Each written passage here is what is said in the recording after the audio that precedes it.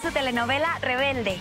Rebelde, gran especial de lanzamiento este miércoles después de Yusu. Tú nos ves, Caracol TV.